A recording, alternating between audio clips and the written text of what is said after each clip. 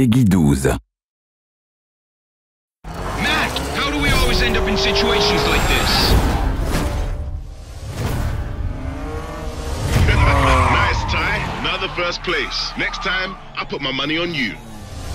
Crap! Cops! They're coming from everywhere! All right, get me out of here, Mac. Move, move, move! They're closing the road ahead.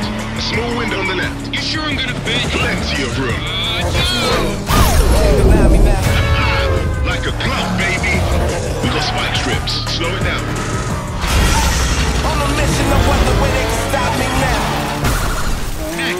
See that? I did. Come on. Let's get you home. Sounds good to me. At the end of this, you'll need to turn left at... Whoa! It's a cop! No, no, no, no! Okay, come on, come on. Start for me. Mac, he hit me with something, Mac. I can't start her. I can't hear you, Mac. You're breaking up. Ass rhino! Go, go, go, go! There is a big ass rhino coming at you. Really? I didn't notice. All right, then. Let's try to keep up. On a mission, no other way